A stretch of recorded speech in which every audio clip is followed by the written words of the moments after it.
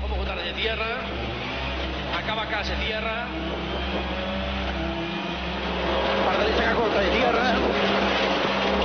Para izquierda hacia menos, que con los campos. Aquí la tira No toques el pito, Luis, por favor. Well over 100 miles an hour now. 200 crest.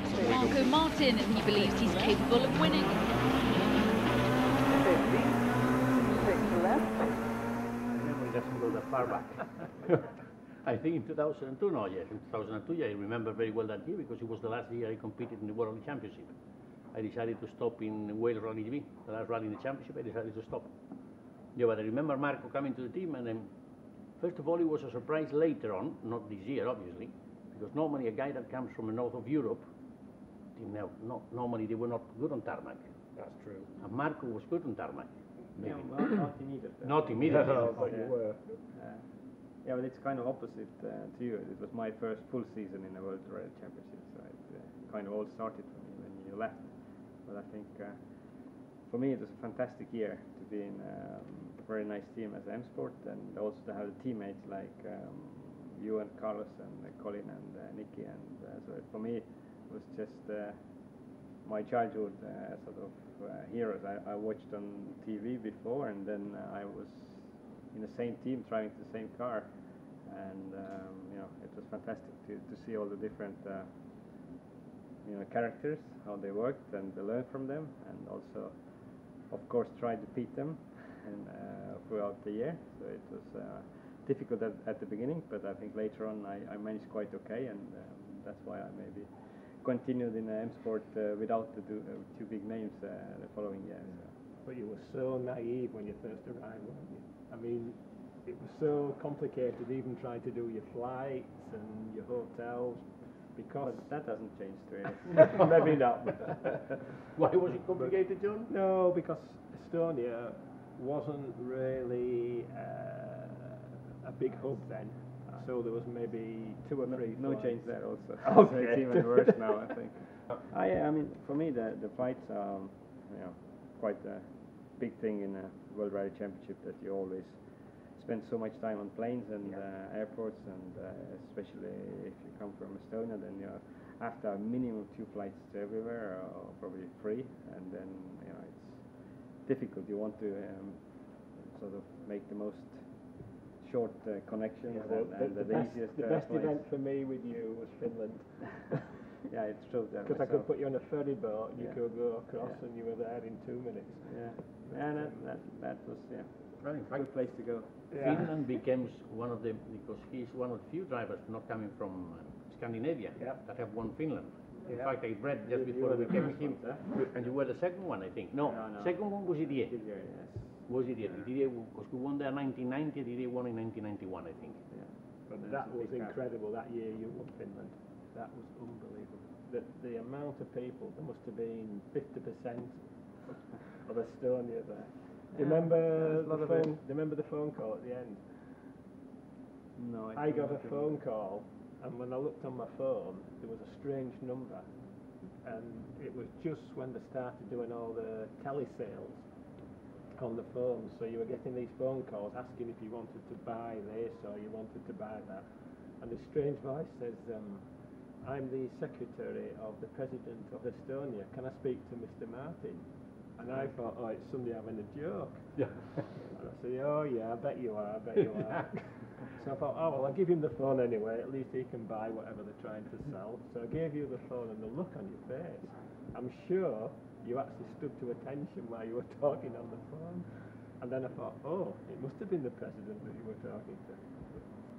And I remember. I didn't did, remember that actually. what did Michael, do you remember what Michael said to you when you passed the flying finish of the last stage? What was the phrase? It was a famous phrase that was shown No, on I think TV. it was just um, A comment. get, getting back on the Finns because they were just um, before the rally running some advert on TV and they were sort of taking piss out of the foreign drivers. Like uh, it was me, Richard, and Colin. I think were targeted on those things. There was three different adverts, and then uh, they were just saying that, uh, or more or less trying to say that the foreign drivers have no chance and they they are hiding away. They don't really want to compete or they are afraid to compete there. And I think it ni- nicely came back to them because that, Yeah. that year I think the first Finn was like fifth or something like that. So it's, um, it was uh, yeah, but that was just what uh, Beef uh, said at, at the end that uh, kind of not bad for non-Finns or something like No, that. I mean, it, the atmosphere in the service back at the end was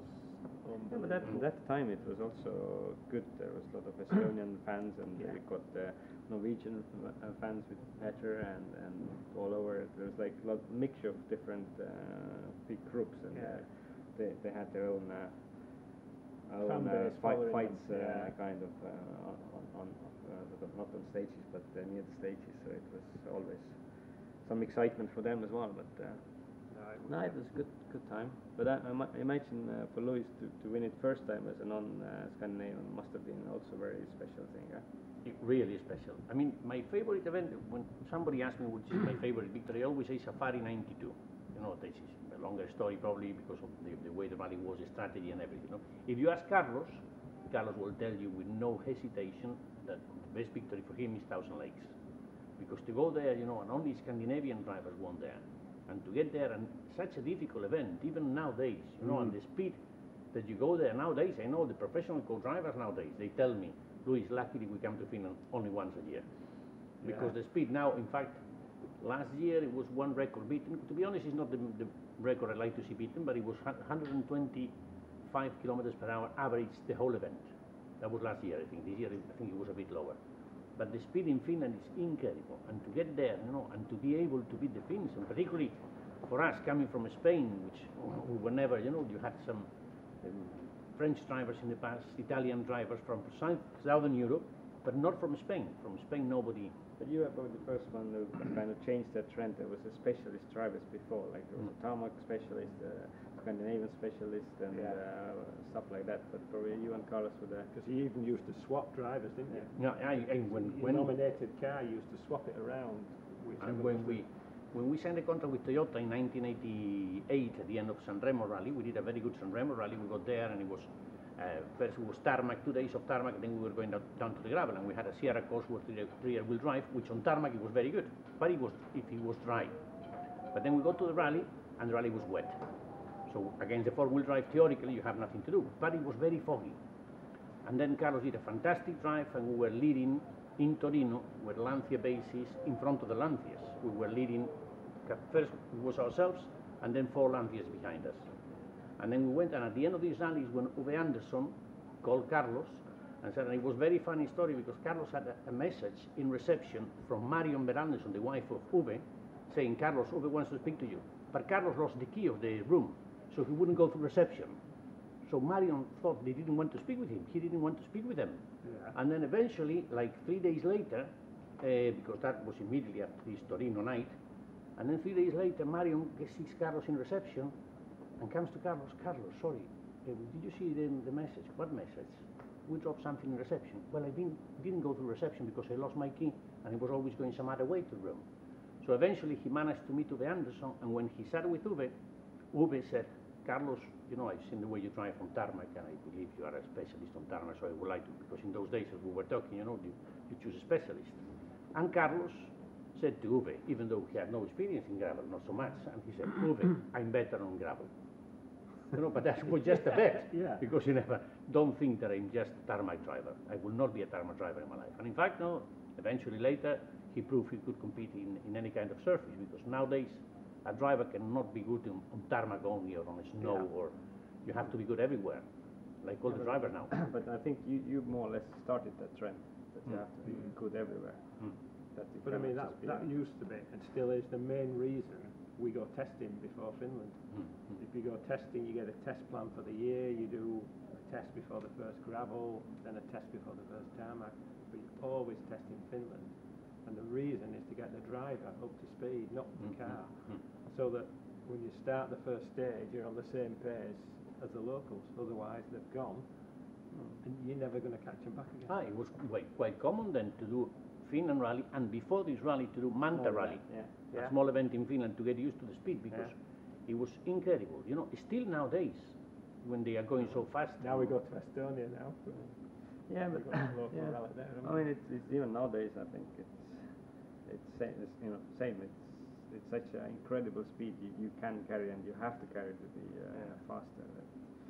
Even though you, you know it probably takes some time to actually sort of tell yourself that you have to go Yeah. more because it's And you know, say, it's not very comfortable thing to do actually. no, when be they ask about Finland, I always say, you know, a lot of people speak about Finland, you know, journalists, people from the teams and everything. The only guys that they know what's the speed in a rally car in Finland is the guys that they are inside the car. Yeah. Because it's unreal. You know, you cannot believe that you can go in six gear for so many kilometers, jumping up and down and sliding and it's completely out of logical. You know, there is no Yeah. physical explanation to go that speed. I went last year with Tänak on a pre-event test, uh, and uh, it's probably. I- I've been with uh, actually with quite few um, top drivers, uh, you know, on, on the stages like on touring test, like uh, I've been with. Uh, anyway, many many drivers, but uh, it's a long time since I've um, been in a top car, and uh, the the road was really really fantastic. Uh, I think I never ever tested or driven on such a good road like that one was Yeah. and I didn't see the road when I was uh, going to the test. I came from a different way, and the first run we went through, I, honestly, I thought I'm going to have a heart attack. I, I, I was not joking. You know, it Yeah. was incredible uh, the feeling, and I, I know that when at the time when I was uh, competing myself, and you went with a top driver and you s- sit on a, a passenger seat, I think that's impossible. You know, that the speed Yeah. you're doing, it's impossible. But you know, you could do the same uh, Yeah. yourself. But when you're sitting on a uh, the other uh, side. On the other side, it's um, such a strange uh, sensation, and now after so many years uh, to experience that, I really thought, oh fuck, that's too much, you know. It's But I mean, the guys now, they do, what we were just talking before, they do two passes, don't they? Yeah.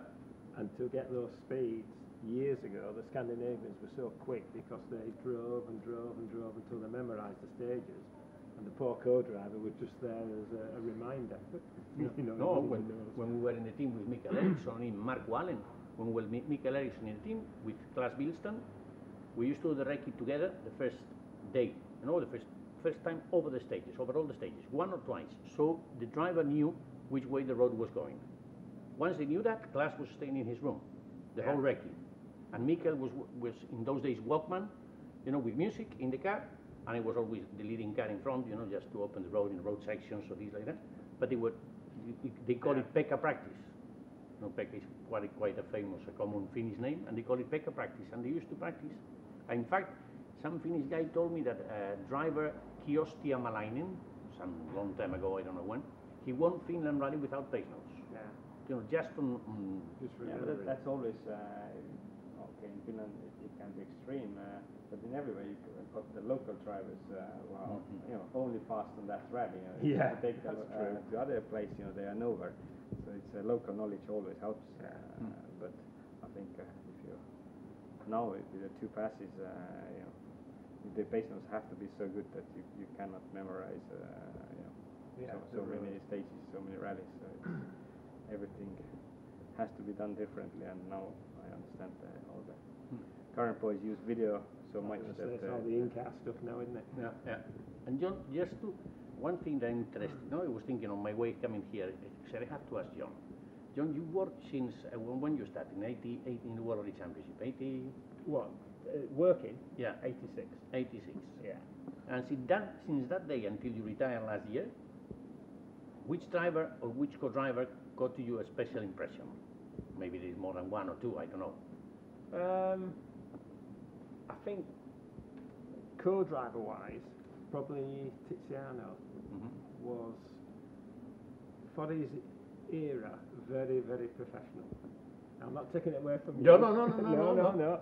I'm not taking it away from you at all, Luis. But the level of professionalism he had in his day is now what the co-drivers today have. Mm. To give you an example, he would finish the recce and he'd come and he'd give me a sheet of all the road section times. He timed every road section. So he knew how much time they'd have mm -hmm. at the mm-hmm. end to change tyre, do any work, so it meant that if there was any uh, a problem with the car, then the you could say to the engineer, well, he's going to have five minutes at the end of this road Yeah, section. And to actually do all that extra work as well as do his notes and everything. Nowadays, you get that from the co-drivers. Uh, but in his era, he was the only one that did it. But he was always so quiet and reserved and in the background, but such a professional guy. Not taking it away from any of the others. No, no. I would say I can't think of a bad co-driver. Driver-wise, I have to say, and again, sorry, again, Carlos is the same ethos. He was so professional before the likes of when Markko came along. You were at the same level, but Carlos was that professional years before. Remember you, uh, he come into service. If you wanted to find him, he's around the back of the truck having uh, one of those cigarettos. So that was his training. Uh, Carlos will be out running or doing something similar. No, no, And the one thing with Carlos, I will say to him, he was a demanding person, but everything he asked for made the car go quicker or the team work better. To the point that I used to get phone calls on a Sunday afternoon, and my wife would answer the phone, It's Carlos. I've just been thinking if we change this or we move that or we do something, then that will improve things. And obviously, it come to him at the spur of the moment. And I used to get such a lot of grief off my wife. You know, why are you getting these phone calls on a Sunday? So the end of the year when we had our Christmas party at M Sport, I thought, right, I'll introduce my wife to Carlos. So I says, Pauline, this is Carlos. This is the man that rings me every Sunday. now tell him what you've been telling me. And she looked at him and looked into his eyes and says, oh, it's okay, you can ring whenever you want. so I around afterwards no, no, says, but "Oh, I have to say that when they ask me, you know, about You know. best drivers in the history, you know, Sebastian Loeb, Sebastian Ogier, uh, whatever. And for me, well, obviously being with Carlos for 15 years, but for me, it's Carlos because of what you said, because for me, there is a, the history of, ra- of rallying has changed when Carlos arrived into the World Rally Championship. You know, we were the first ones doing physical training, nobody did fitness, and we, were, we used to go jogging every day. Uh, at the end of the race, you know, after 10 hours in the car, go out jogging, it's not the thing you really want to do. But we felt we had to do it, and with Carlos, I have to say that I learned so much, and I've been, I will be all my life so grateful to Carlos. uh, the year um, we were together in Ford was good because then we uh, had the other side we had uh, Colin, who was very opposite to Carlos. Didn't put almost any effort in, uh, in my opinion.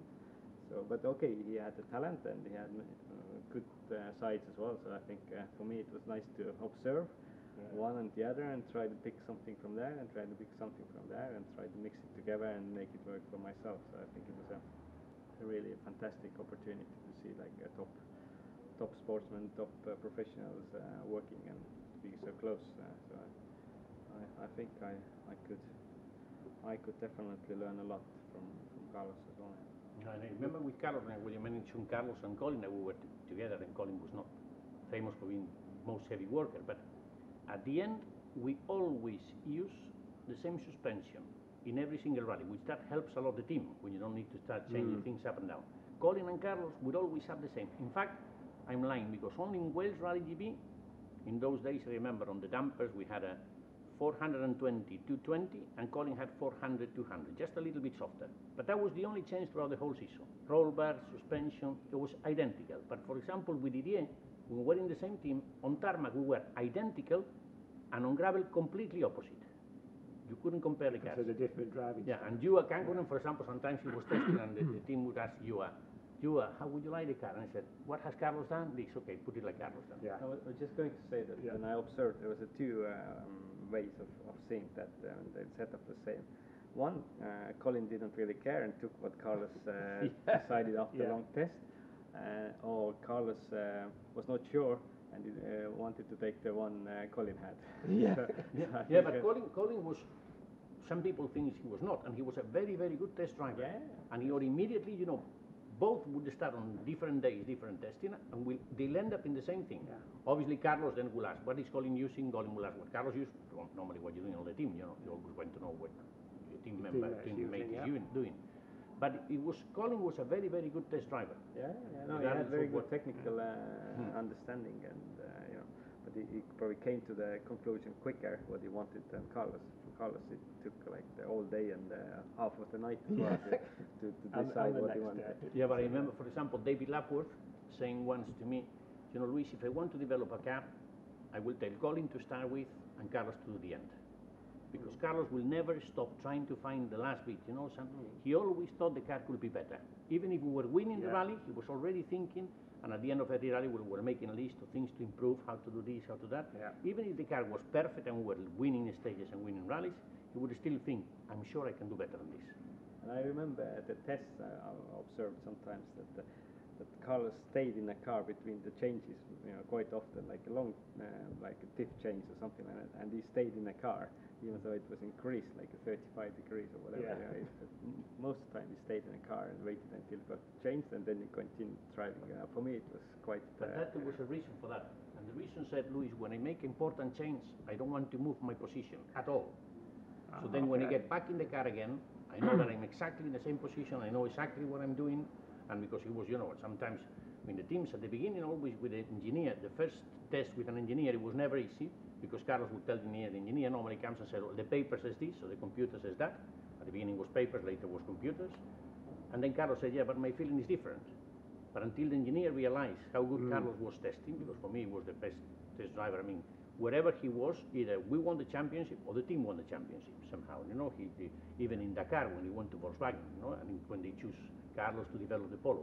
I think in that respect, that's why I always say that to me. Obviously, it was with him for 15 years, but there is an, a time before and after Carlos in the World Rally Championship. Even though some drivers have won more than him, but I still believe that he was he made a big difference. Yeah.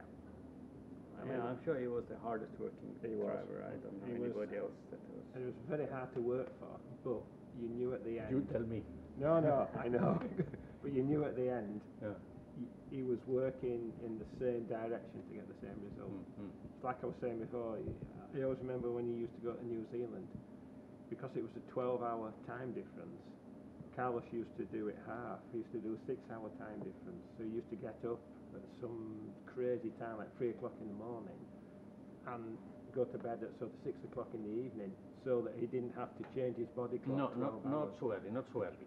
He didn't wake up so early. I used to wake up very early because I Yeah. used to go jogging in the mornings when I was there. Sometimes you jog in the morning because you wake up early, but sometimes we were doing it in the evenings. But not so early, but definitely, you know, he would try to do anything. I remember once he landed in New Zealand, and that day he was landing at 5 in the morning, typical time that you land in New Zealand. And he was in the hotel and he woke up at 3 to go to the gym because, you know, you're awake. Yeah. Anyway, I went to bed at 7, let's say, or 8, had dinner in my room. And Carlos was flying all the way from Europe, eh? 36 hours flight or whatever. I went to the airport, I picked him up, went to the hotel, went in, took a shower, then I drove 200 kilometers in New Zealand. Carlos was sitting on the right seat because we had to test that day. And at 9 in the morning, we were testing already. After coming the whole way, and he said, Carlos, don't tell me that you're not tired. Luis, not so much. I mean, the flight is long, but it was quite comfortable in the plane, and I cannot wait to sit in the car.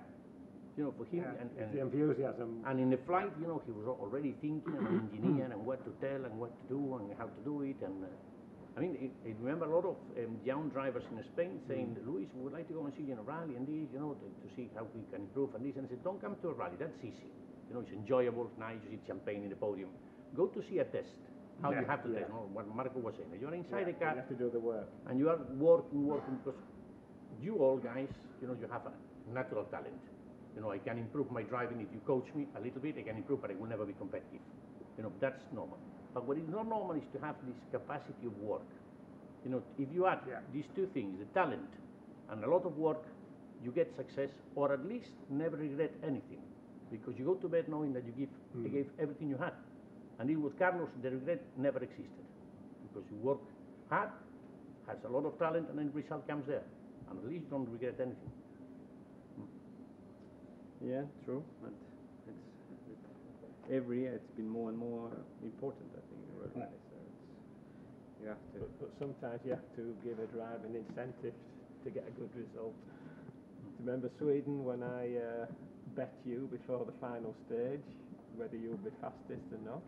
You won't remember, but I Yeah, did. no, no, I remember that one because uh, And you lost money there. I I got did. money off uh, Milly. You don't get that very often, so it's, it's definitely. And uh, as soon as you clear the stage, Beef comes straight on the radio. There's the stage time. That's I forget what it was, 50 euros or whatever it was. Y- That's 50 euros you yours. and of course, the press got hold of this. So I rung my wife that night. As soon as I said hello, how are you doing? What's this? You've lost 50 euros. That's all she was interested Yeah, that's So- what was worth the um, Yeah, special you probably you've probably got that framed, haven't you? that was the first and last time I ever bet anybody. So Yeah, and for the first and last time you had to give money out. I know. So you're unique in that, Markko. I've actually I've given you money, which Yeah, is not yeah. something I do often.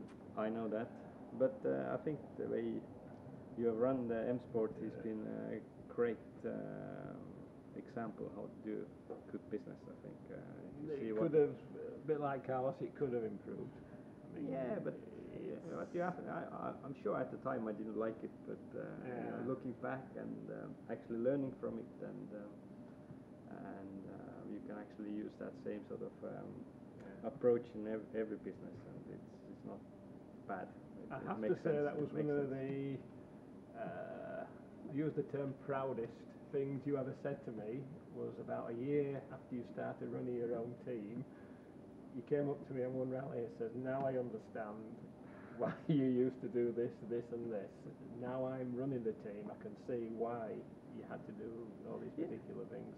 Yeah, it's it was Sometimes more easy to understand, but uh, I think it was a good, good experience I had actually that um, I could uh, transform that into my own ac- activity. So I think it was Yeah. also good, good to see it uh, how it's done by a professional and uh, try to do something similar. And I think uh, if you look at M Sport at the moment, uh, where Malcolm has taken it, it's Yeah. incredible. You know, it's a, a small private business, and uh, you know, I'm sure that's a lot has has to do the way you, you run the um, Yeah, accounting there.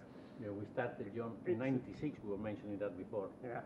In '96, we started with um, we had signed a contract Toyota. With Toyota, Toyota was banned, so we had to went with to Malcolm, and Malcolm was starting his M Sports, his uh, from his van, from his stables at his Yeah. house. Yep. It was a very small thing. I, I don't know, maybe 30 people working, not more. And now you have John what? 250. And it's increasing for It's increasing to about 450 next year when we get the new building.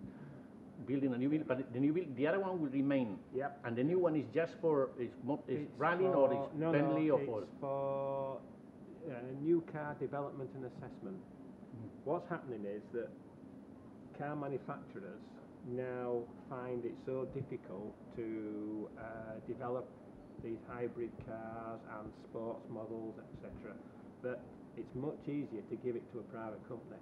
The idea was started at ProDrive with Dave Richards Mhm. when he developed the STI Subaru, he did all the development work and then Subaru marketed the car.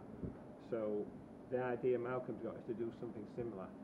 And we've already done a couple of projects within our main building, but the idea is to have a separate building that's A, secure, and B, it's private, and they can do all the work, all the car can be developed, then you give it back to the manufacturer and he either produces it or we would be in a position to produce low volume examples of that car.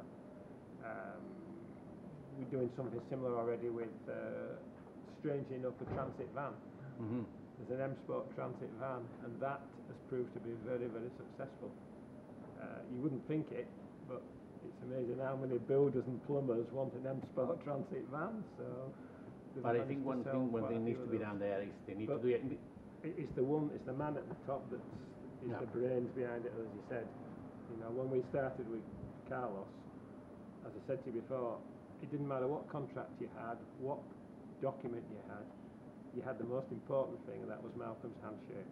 Mhm. And he's such a man of honour and so proud of what he has achieved. If he shakes your hand, then he's a man of his No, I, I know Malcolm. I, I never seen. I don't think I met anyone in my life that works harder than Malcolm Wilson. Never. And luckily, you know, he's surrounded by a fantastic lady. You know, Elaine. Ah, that's true. It's absolutely great lady. Yeah. The only thing they, what they need there, John, somehow, if Malcolm said that they are thinking in Carlisle, because to get to Cockermouth, you need to fly to the Manchester or, or Liverpool. Yep. Then it's an hour, 45 minutes drive. Yeah.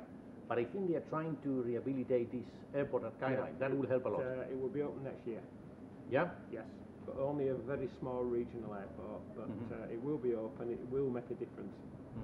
Uh, luckily, it's being done by Stobarts, Mhm. who are A, long-time friends of Malcolm, and B, long-time supporters and sponsors of Mhm. uh, Matthew. Mhm. So um, hopefully, once they get that up and running, then we should be able to link into that, Mhm. which will make a massive difference.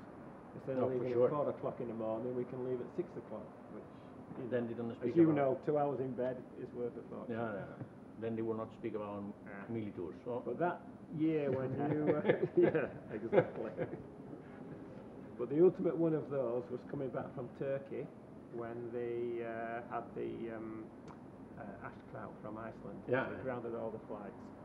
And we had to rent two coaches and set off and drive overland from Turkey all the way back to Cal, uh, to Cockermouth. and was it cheaper? Because if it was cheaper, you would. No, you will be so happy. cheap. Unfortunately, it wasn't cheaper, Luis. I'm sure you save a lot of money to the team. No, no, you know why we lost out so much? It No. took us four days, so that's four days day money I had to pay for everybody. Four days to drive back. yes, yeah. And uh, I mean, we were saying the other night, um, we set off, went over the Turkish border into Bulgaria, Romania. We've been going about 25, 26 hours, and we've taken food on the coaches, plus lots of alcohol to help the journey. and somebody spotted a McDonald's. And all of a sudden, there's a McDonald's, a McDonald's, and both coaches turned around, went into this McDonald's, and they must have thought it was Christmas. So 60 people came in ordering Big Macs because you didn't have to speak the language, you could point at the pictures. Paying for it with his foreign credit cards. So we all had a food, got back on the coach. A day later, we were going through Germany, and we saw another McDonald's. We all piled into there for another meal, and in Germany they wouldn't take the credit cards; they would only take cash. So in the what you would consider There you go, jumping. Mm. so we ended up that way, but yeah. So that was the ultimate in Militos. Yeah. Was that was that the biggest biggest challenge for you as a coordinator to get something done? Uh, that was one of them. I think the other one was um, getting the trucks and stuff into Cyprus when the uh, railroad broke down. Was we Cyprus or Jordan? No, Jordan. There was something uh, broken. In, jo- in Jordan, the problem was getting through Israel. Mm. So in other words, everything was there. No, but that boat broke as well one year. It Yeah, in broke- Jordan, I think the, the rally was cancelled short in Yeah, Bayadere. it was Yeah. short by In a day. In Cyprus, no. Yeah. Cyprus, it wasn't. But We went to the harbour to collect the cars. yes, but we What year got was that? 2001 or something like that, 2002. yeah. Must But have remember, we um, were all running around trying to rent cars for recce cars because Yep. you had to use um, Yeah, but local at- rental cars. At the end, we, we got the cars. You got the cars But right was at just those uh, your stuff was late or no, everybody? everybody's. No, no, everybody on the whole boat, and we were all the teams, you know, waiting for the car, waiting for the bus. And in Yeah. fact, the day we were starting, we were supposed to start the recce. Instead of starting at seven in the morning, I think we started maybe at midday, at twelve or something like that, because we had to go to the harbour, and then the boat opened, the ferry boat, and we waited for the cars outside, and the mechanics they prepare a little bit, so we could go in and start wrecking. Mhm. Yeah. But uh, those those are the things that like the, the biggest challenge because it affects the whole team. Hmm. Other things, uh, smaller things, um, y- you can actually uh, find a solution to or find a way around. Um, first time we went to Argentina, we took all the transmissions as hand carry, and they lost them. Very convenient, very practical. Very, very practical, yeah. Now this is the day when you could take a 65 kilo gearbox as hand, Hand luggage. uh, as uh, hold luggage, not hand carry. Ah, sorry. okay. So hold luggage. So we had six or seven of these, plus the dips and everything else, and they managed to lose them between Manchester and London. So when we got to London to get on the flight to go to Buenos Aires, they'd lost them. So I ended up staying in London waiting while we found these things. So eventually we located them, got them to London. So the next day I had to set off and fly with all this luggage and just me and myself. So when I got to Buenos Aires, I physically couldn't lift all the luggage off the carousel and get it to the internal flight. So I had to get a load of local people to come and help me move it all across. So we got on the local flight up to Cordoba and filled the luggage hold with all our stuff. So there's about three or four mm. People on the flight, plus me and all these transmissions and bags and one thing and another. but with that sort of instance, it only affects me in the main. The the other things affects the whole team, and that those are the more bigger Yeah, challenges. because also, you know, when you have these logistics, because I was working as co-driver normally, then I was helping organizing. In fact, I was ambassador in Jordan Rally, and I was helping. And then you start to learn other things that you haven't thought about before. And you start to think, and you start to get, get to the logistics, which is things that now in Volkswagen I explain to the people that come with how complicated is the logistics of the World Rally Championship. Because, for example, in Formula One, they fly from a circuit to the next one. Yeah, they fly everything. in, but we in send- one plane Yeah. altogether. Yeah. and but we send a, a boat that leaves in February with equipment, with 100 tons of equipment. We have eight containers that goes to Mexico, Argentina, and China, but it leaves on February with what you're going to use in Australia in November. So the Or, thing, the what thing- you hope. Yeah. yeah, you- you're planning. Obviously, we have a smaller kit. We have, I think, we fly 16 tons plus the rally cars, and we fly them always. But you fly 16 tons in a plane. But obviously, if you want to put more things in a plane, it costs more money. Yeah. And we want to save, uh, you know, at least not to save, but not to increase the costs.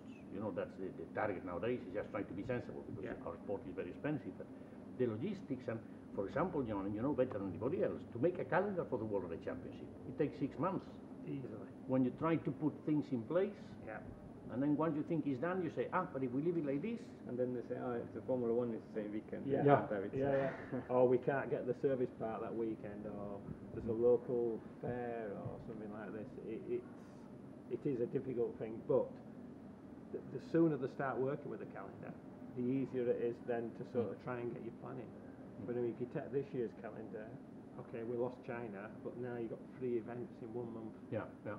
You know, so at the moment it's it's very very difficult to get everything in place to try and get everything to work so that you don't end up by GB rally the end one with something missing or a car not in the right place. because like when you think about, you know, John and Markko, drivers, you know, normally do a rally, then you fly home immediately. But think when you have to stay there, like when I was in Subaru Sporting, like, you know, I started to see how they have to put everything down to take everything down. But then there are guys that they are driving trucks, truckies. yeah, yeah. And now the guys that they are driving trucks, these three, this month with these rallies, Yep. they will probably not spend one single day at home correct.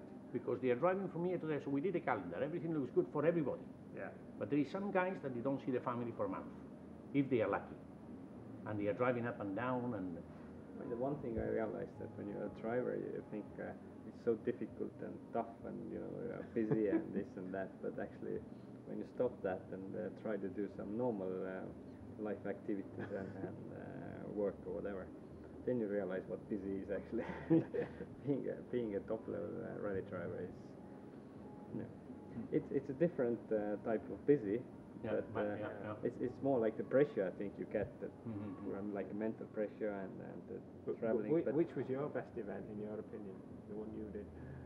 uh, as a result wise, uh, Mm, Well, for you, just as I think the good ones were It's always uh, necessary that- Sweden, Sweden and yeah. uh, New Zealand were always really good fun places Yeah. to go. I mean, Mhm. some of the rallies are really pain in ass to, to, to really Yeah. compete, but those are always fun. I think never Yeah. mind the result, but you had fun. Th- there. those are the ones you look forward to doing the most. Yeah, yeah, Yeah. I mean, Finland, uh, as we spoke before, was you know always special, but it was like a little bit too much. Like it was Yeah, yeah. better to too much to, prep. to enjoy it after you know, done it. Like your own Bohia stage is a fantastic stage, but when you fi- cross the finish line, then it's like, Thank it's goodness, just, yeah. just uh, get the pressure off. So it's Yeah. um, different. You know, it's it's uh, fun, and but it's not so enjoyable than. Uh, the, you know, like New Zealand is a fantastic place. I was uh, I was this year with an old uh, escort, and uh, you know, it was the best I best wish fun we ever. go there again. Yeah, I wish I would. it's it is brilliant stages. Really, really is. It's just a shame where it is.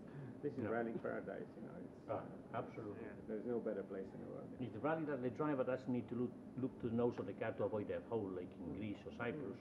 But don't misunderstand me, they have their own character. Eh? It's nothing new. But yeah, New Zealand, beau- the landscape is beautiful, the, the stages, you know, you have everything fast, slow. I mean, for me, I mean, for example, I think Whaanga Coast, I'm sure you remember Whaanga Coast. I think if you ask people that has driven this stage in their lives, and you ask these people, which is the nicest stage ever in the history of rallying? To me, it's Whaanga Coast. Because of the scenery, you go along the coast, because it's 30 kilometers long, 15 very slow, 15 very fast, You have everything, Mm-hmm. you know, it's a beautiful area. Raglan is a small town next to it, which is really nice, you know, surfing place and beautiful. You're right. I, I think there is no bad states in New Zealand. No, It's- probably not. It's, Yeah, it's yeah. only good or very Do you good. remember so- doing the uh, Motu, Motu, Road? yes, Yeah, yeah. That was always Colin's Yeah. uh, favourite stage. That's always the one where he used to make the big push to Mm. try and get him. It was 44 kilometers long, and I think something like that. the yeah. time in the stage was 39 minutes or 40 minutes. It was almost not like Cyprus because Cyprus, the average of the rally in Cyprus was just over 60 kilometers in the, an hour at the end of the rally. Comparing to one Finland, of the rallies I, I, I could not enjoy at all. It's just so boring. It's Just so forget. same, you know, second gear going to third gear, second gear, third gear. It's like no, no fun at all. I remember when we won there with, with you, with Ford, Yeah. in 2001. We won the rally and we got there and we did some good testing and Carlos was really pleased with the car and I said, Luis, I think here we can do. And we started and Carlos was driving in a different normal style that he normally drives, yeah? He was using, not changing because he was going always in slow corners and tried to al always long gears, you know, and going out of the corner and immediately changing, changing, not too slide. And Colin, with people spectating, was saying, Colin is going all over the place. And even at the end of the stages, once over the radio, Nicky was really not so to complaining, but he couldn't understand. He said, what's going on with Carlos? have to go slow to be fast. Yeah, exactly. And then you felt, you know, it looks like it was not going fast, but the times were really, I mean, the first day I think we took one minute over everybody. You were the first one to click what, what was needed there. Yeah. Yeah. Fast. Yeah. Yeah, because it was the first year there, and I think we caught everyone by surprise. Yeah. Then second year was not the same. But that, that year was incredible. I know it, it was the one event where if your power steering went, that was it. Hmm. Oh, you, oh, you get the drive at the end was absolutely impossible. destroyed. Yeah, yeah, yeah. I, I- I think I even remember was it Auriol one year with the Yeah. Seat uh, did the long stage without it and then they Yeah. at the finish it just You collapsed had to- you had out of the lift it car. Yeah, yeah. That's true. Uh, he was Yeah. a strong man to actually finish the stage. Yeah. But remember when we used to send text messages to the cars? Yeah. We used to send like the Yeah, splits and yeah. stuff. remember we used to send Beef the football results? Yeah. He was football mad. Yeah. And he used to want the football results. So we used to send him the results through on, on the on the screen. And all the journalists used to think it was some kind of code for some tactic or something like that.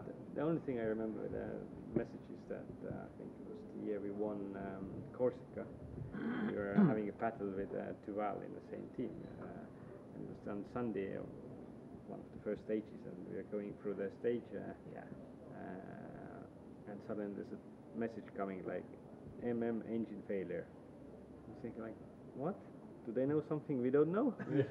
Everything seems okay, and and then uh, just after we passed Francois, who had stopped on the uh, stage with engine failure, and you meant uh, FD uh, Yeah. engine failure. Yeah. but you put MM, and I was like, what? Yeah, I do. what are you on about? You know, it's our engine is fine. yeah, finger problem. I think That's it's the first getting too enthusiastic to do it. John, I'm very, very disappointed now. Why So I is always thought you never made a mistake. Oh, But for made me, when I was working, you know, honestly, when I was Yeah. working in the team with John, I mean, in general, all the coordinators from all the teams, they are really professionals, you know. But for a co-driver, it's such a relief, you know, when you know you phone John and you have a problem, or you want to know something, something about the rules because you're stressed, you don't remember, and you phone and you always get the right answer. And sometimes that's annoying. No, you cannot be right all the time. So I'm happy to hear that, Mark, when I No, right no, now. I, I, I made, have a- I actually- I made have a lot another- of I have another one, yeah. actually. On. I don't remember which rally it was. Uh, it was the Sardinia. We were going to the shakedown, and somehow the Ford team uh, ended up going like two hours before everybody else, or Ah, something yes. like that. Yes. Which I, I don't really like uh, because I, I, Yeah. I don't like early mornings. Uh, and everywhere waiting like beside the road. There's no was, shakedown. it was dark. Yeah, it's, it's Yeah. crazy. I, I don't remember the details, but I remember it like way too Well, I early. planned this thing to get, to get everybody because you had to move the service, didn't you, up to the top of the mountain for the shakedown. You see, and I got it all planned. And I got up that morning. Oh, it's dark. Okay, we'll be all right. Yeah. And gets up there, and I'm thinking, it's seven o'clock. It doesn't start till nine o'clock. And it took me by surprise. Why I got the two hours wrong, I haven't a clue. And Malcolm comes and says, uh, "What's everybody doing up here at seven o'clock?" I think I've made a mistake. You know, I wanted to come on time. I wanted to He says, uh, "You've made it now. You do not make it again." Because he, he was like you. He hates getting up in the morning. Yeah. But on GB once I'd, um, be, because you're always travelling, of course your clock is set on a different time, and I forget what my alarm clock was set at. It was on a different time scale, like two hours. So I gone to bed, set it, and of course it went off. Oh hell! Gets up, gets dressed, jumps outside, gets in the car, and quiet. There's nobody else around here. And then I look, there was two hours early. Of course, you can't go back to sleep. Then can you? So I had to go and have a long breakfast. Luckily, that was only me. But those days, But you no, know, at, right at the very Sardinia. beginning, because the rallies, people say, we spoke about it before, you know, they were better before. They say, Luis, the rallies were better before. No, they were not better. They were just different. Different, They yeah. were different. I mean, we didn't sleep, and that's probably because sometimes you could make mistakes, because I remember Wales Rally GB, you know, in 88, it was like five days rally, and you slept the first day maybe five hours, and then four, three, two, and you were sleeping, and you were always, always tired, all the time in the road sections, falling asleep. I mean, it was, some- sometimes in some rallies, it was difficult to keep the driver awake. First, you had to try to be awake yourself, but trying to keep the driver awake, because once you get to the stage, you were driving fast, and then you were awake, you know, adrenaline. But then as soon as you finish the stage, vroom. once again, you know what happened with the team orders in Subaru when we were in Spain, Rally Spain. We were in the same team with Carlos, and then on the second, on the Saturday, there was one stage to go at night, and um, eventually we were leading the rally. Colin was second, and the third guy, which I don't know who he was, was already far behind, more than a minute or something like that. So David Richards called both drivers, Carlos and Colin, and said to Carlos and Colin, "Okay, guys, battle is stopped now. You know, team orders now. I want you to win. We don't want to make a mess. We don't want someone has an accident. So you have to slow down." So they came out of the room, and then Carlos told me, Luis, this is what David told me. And then Carlos, and what did you say? I didn't say anything to David, but I went to Colin, and I said to Colin, Colin, don't even think about team orders. You're doing a fantastic event, the same as me, and we should fight between each other. Forget about the team orders. So then we went to the next stage, and it was a night stage, and I remember very well that stage because we beat Colin by three seconds. And obviously, the guys behind, they were far behind. So David realized that we didn't pay attention to the team orders. and then we went back to the service park, and then David was very upset, really upset. And he started to shout to both of them and said, this is, you are being stupid, this is not the way, I told you to go slowly, you know, we're here fighting for a company, for Subaru, we want to win the rally first and second. So now, end of the story, I want you to go slowly, slowly. So Carlos came to me and said, Luis, I said, Carlos, if he's telling you this, then we have to slow down. Obviously, you slow down, but you keep the speed a bit high, you know, to keep the concentration or whatever. But then the following day we started, and then Colin took, I don't know, two or three seconds, the difference. And then Carlos said, Luis, and we couldn't speak with him. You know, he was trying to avoid us on the road section. And Car- Carlos said, Luis, what you doing? I said, Carlos, I mean, we cannot risk an accident. You know, David Richards has told us that we cannot risk an accident.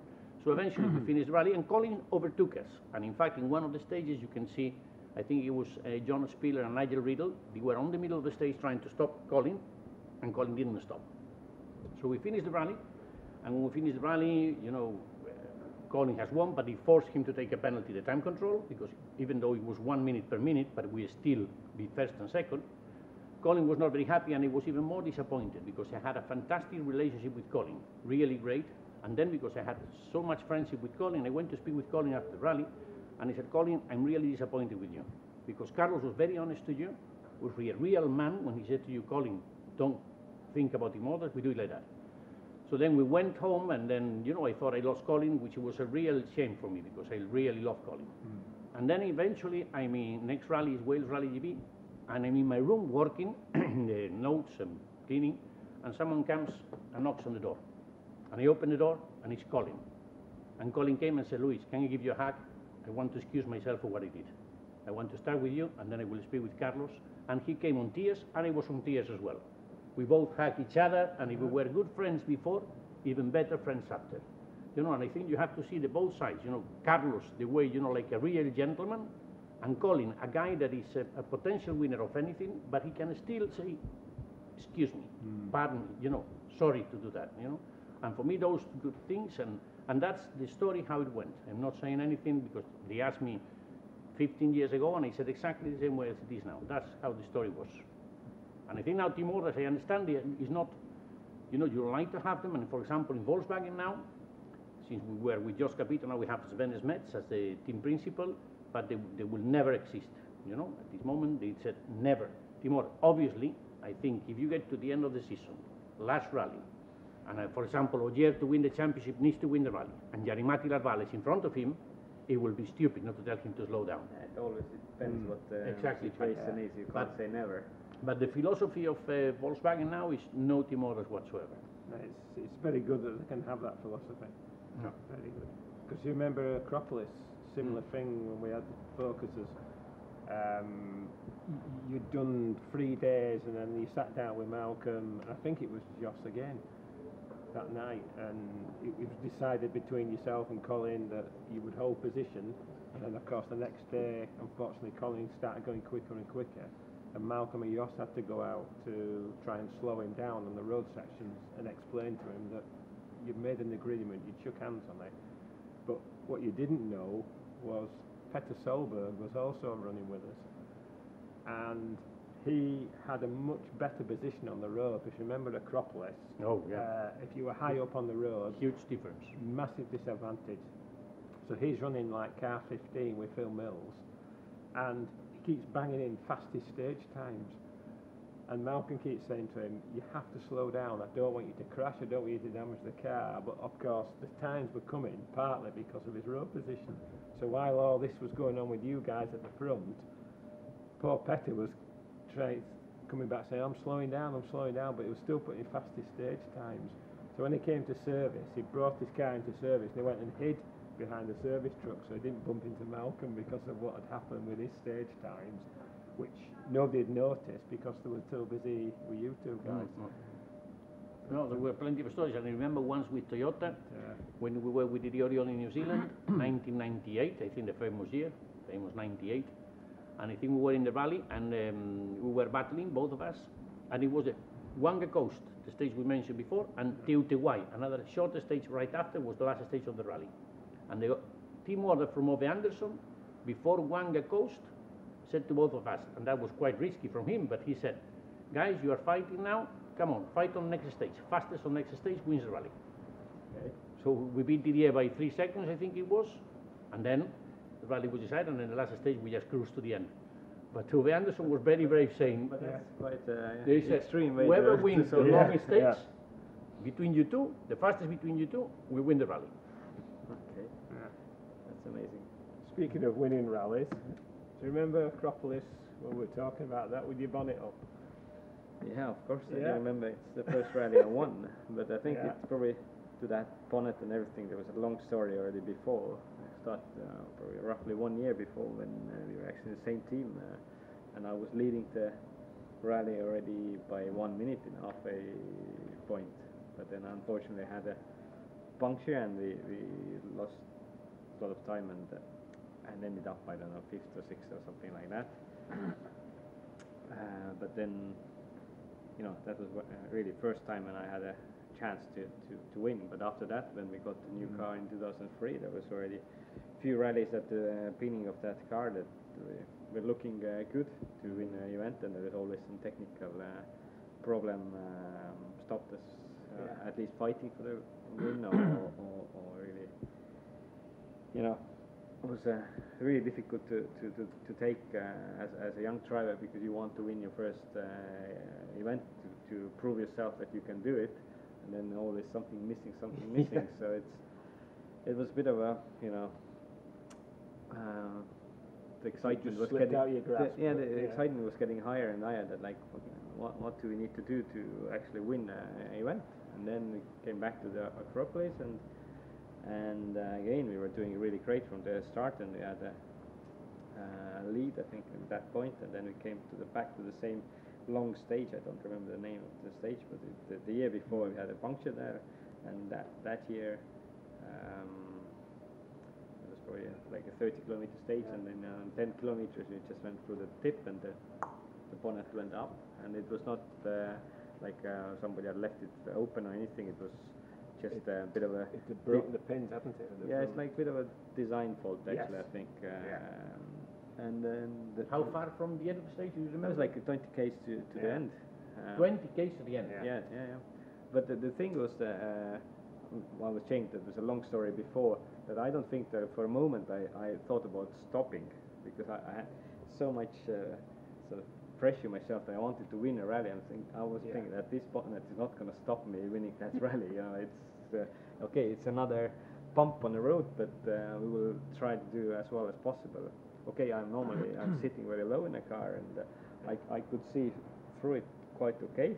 But uh, imagine if you go high speed and you need to see the long distance, Yeah. then you don't see the distance. You see like I don't know, 50 meters, uh, 100 meters uh, in front, but you don't see further, and you don't have any visibility around. So you're just looking from the tank uh, window. You know.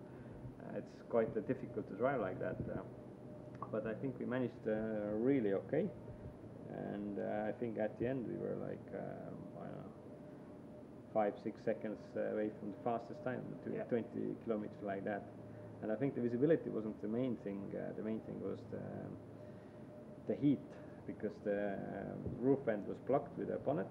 So and the Yeah, increase you don't you don't any inside. an- Yeah. any ventilation in a, in a car. Uh, I, I was really losing uh, my uh, patience Yeah. like towards the end of the stage. People had to tell me like, "Come on, it's only three k's to go," or something like that, Yeah. or two k's to go. Like uh, because I, I started to really Well, sort of not not really concentrate anymore. And I we, remember we, di- we didn't believe you.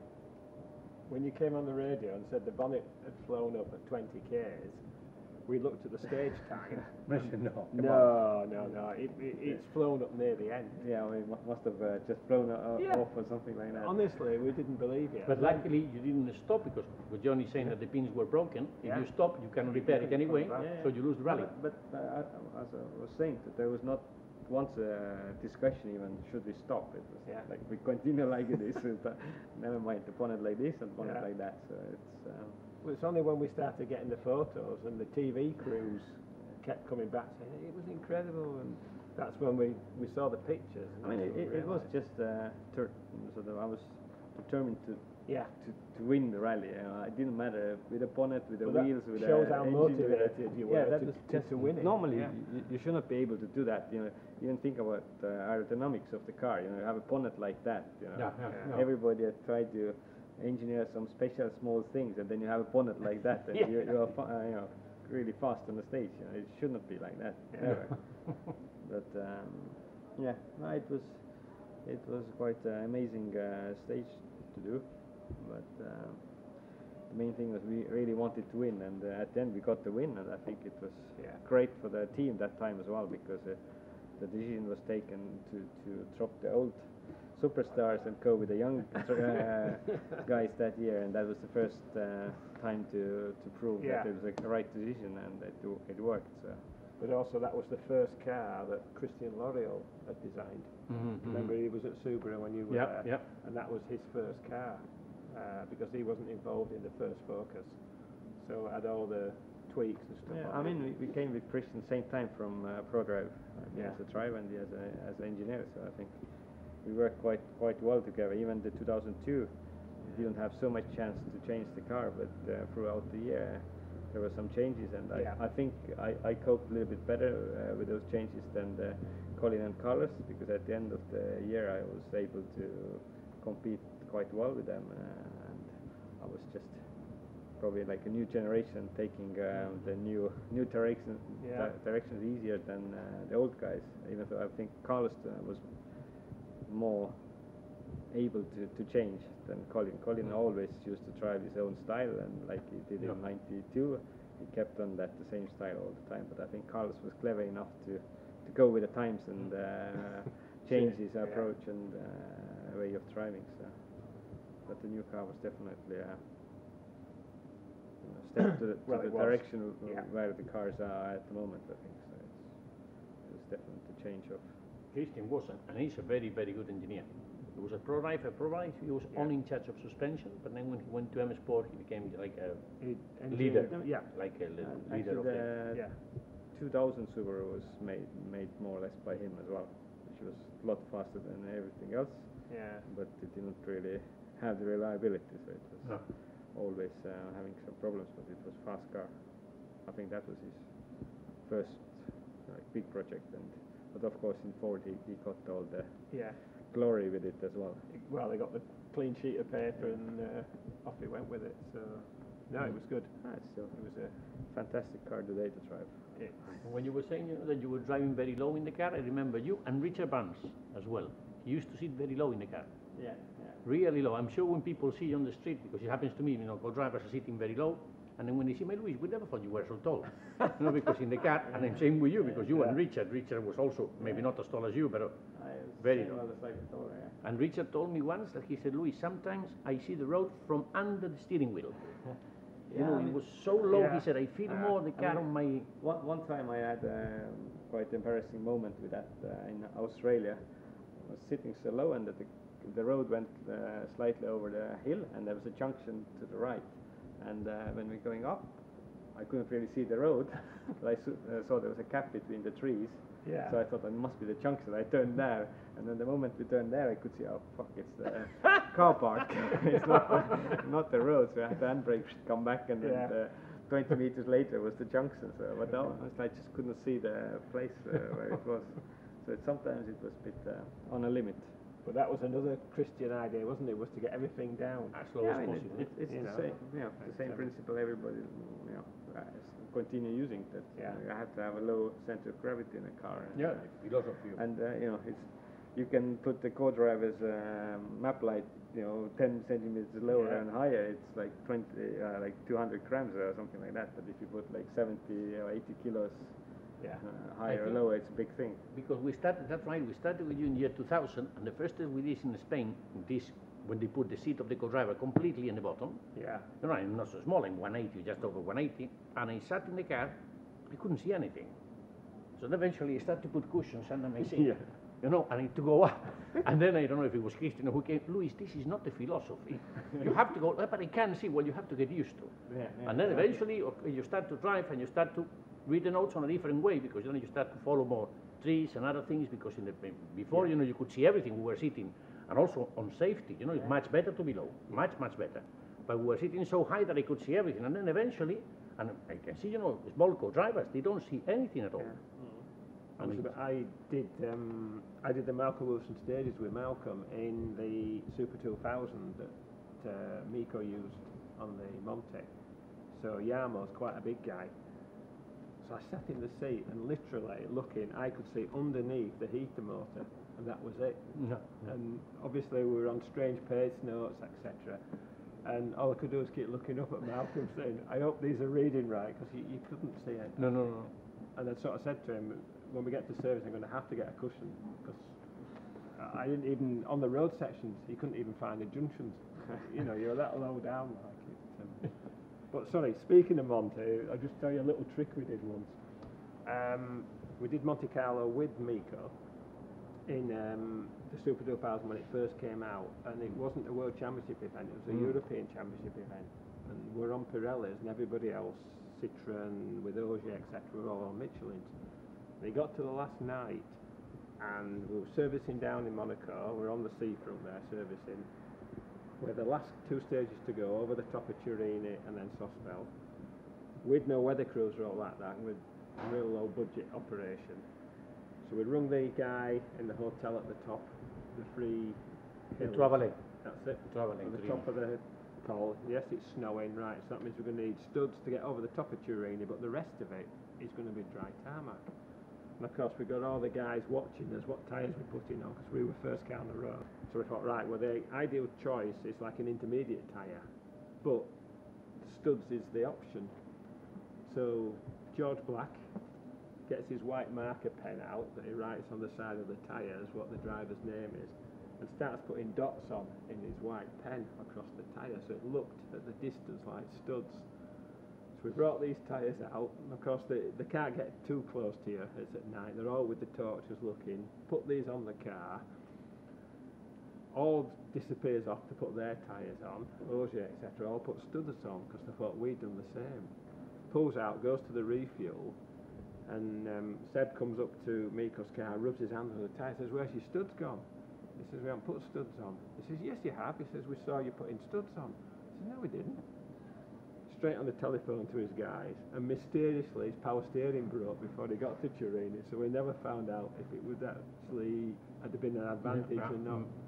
But in the meantime, Mark was getting all these phone calls from Finland, from everybody in Finland ringing up and saying, You've blown his chances, why have you put him on studs? You should have put him on slicks and all that. I said, Yeah, we did, we did. No, no, you didn't. We put him on studs, we got the photographs. And it was all because George Black had put white dots Yeah. on the tyres. And it was a trick and it worked, yeah, uh, uh, you know. plenty of tricks. Nowadays, but everything is so close and so tight. It's quite difficult to. Yeah. Quite difficult to do. Some people we used to put tires next to the car, pretending we were going to put this, and the last minute change to another ones, and. But uh, it was even difficult to choose a tire Yeah. in a way because you had like different construction, different compounds, different That's tread true, patterns, yeah. everything like. Uh, Um, Now, for example, in Monte Carlo this year, just a round figure, eh? in Monte Carlo this year, we have 300 tires, 100 per car. No, three car team, we have 300 tires. In 1990, when we were with three cars team with Toyota, Juha Kankkunen, Björn Waldegård, and ourselves, Pirelli brought 3,000, 1,000 per car. Because the, the, the, our, now the rally is a service park, so you always come back to the same place and you have everything in the same place. But before the rally, as you know, was linear, so we need to have everything mm-hmm. everywhere. all the choices everywhere. And because we had a narrow study tire, intermediate and wide, with the starts Upsides, inside, outside, yeah. oh, Yeah. and it was a nightmare to choose tires. It was a really nightmare because you had so many options. We have like 12 or 14 options per stage, and sometimes you doubt between four or five, and it was difficult to take a decision. And decision. then the testing with us, just to you know to find Yeah, out which yeah. tire works where. Yeah. You have to go through To try and work out the diff times. But remember, you had an ice note crew per stage. And that crew Hmm. Yeah, just yeah, did that yeah. stage up Yeah. and down, up and down, up and down. And then you had a different ice note crew for the next stage and a different one for the next stage. And this is what everybody says, the good old days. They weren't good, they were just old. No, they were different. Yeah, different, They, yeah. they were different. I mean, the sport is a lovely sport. I mean, we love the sport, and I mean, to all three of us, it gave us everything we have in our lives, and we got paid to work in what we like. You know, what more can we ask for? I mean, for me, it's uh, like I always say in Volkswagen. You know, why I'm studying German now? Because Volkswagen gave me an unique opportunity to give back to rallying what rallying gave me. Rallying gave me everything in my life, a comfortable life for me, for my family, and Volkswagen just asked me, Luis, speak about it. That's all I have to do. And also a lot of uh, different friends all over the world. You know, Yeah. people you would never know. Yeah, it's, it nice to come here because I knew Luis will do all the uh, All the talking, talking, and uh, yeah. just li- sit here and listen uh, all the nice stories. Get all the interesting stories coming out, yeah. Like the dance at the end of Indonesia, for example. Oh, that Prize used to be giving. common at the end of it. But Yes. before I could dance and I could make a mess everywhere because there were no mobile phones, there were no cameras, nobody ah. will film you. So only people around you will know. Because I remember going to in Indonesia and we won the rally there. Yeah. And And the, the the, the waiters, the waiter of the, the restaurant carrying a, a jacket like a clown, you know, with dots and this. So I had my blazer and I just wore blazers. And he put it on and he started to dance on the table. I don't know, I don't know. It ended up like a little bit of a mess. yeah. But in those days, you could do things like that because it would Yeah. not be recorded. Yeah. But now you have to be very careful. Everything goes in internet, YouTube, in, immediately, in Yeah. one minute. Yeah, but don't worry, Luis. n- Nowadays, people want themselves to, to have that information out uh, on the internet. I think uh, Yeah. that's the difference. Well, that's what happens, you see, when they do the prize giving, starting off with the guy who finished last. No. By the time it got to you guys at the front, you'd had that much to drink. No, and, did- they and I remember in Indonesia, Yeah. we got to the end, one of the legs, we were leading the rally. and we get to the end, and the podium, at the end of the day, we have to go through the podium, we was in the parking of the hotel, and our rooms were facing the parking. And there was a guy with a loudspeaker Yeah. making an incredible noise, and then Carlos phoned me and said, Luis, I can't sleep, it's very noisy. Carlos, don't worry, I will sort it out.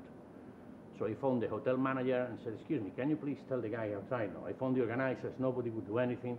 Carlos phoned me, Luis, I cannot sleep. I said, Carlos, don't worry, I told you I will sort it out, and I will sort it out. So then I dressed up myself, and I went down, and I went behind the speakers, and I just broke all the wires. and then, but I made sure that I broke them, because he said, I, they cannot repair it now. It's at night, so I, I cannot just undo it. So I just went behind, I looked, nobody saw me, and I, boom, broke them all. And then I went, went to sleep, and the following morning, Carlos asked me, Oh, Luis, this did you manage to sort out? Yeah, yeah, yeah, I sorted it out. No, no problem. How do you do it? I just broke it, Carlos. Sorry? Just the wire. Why? You the wire. Carlos, you told me you couldn't sleep. You sleep? Yeah. Well, There you are then. there you go. You see? Easy. I told you I find a solution, and you know I Yeah. find solution for everything.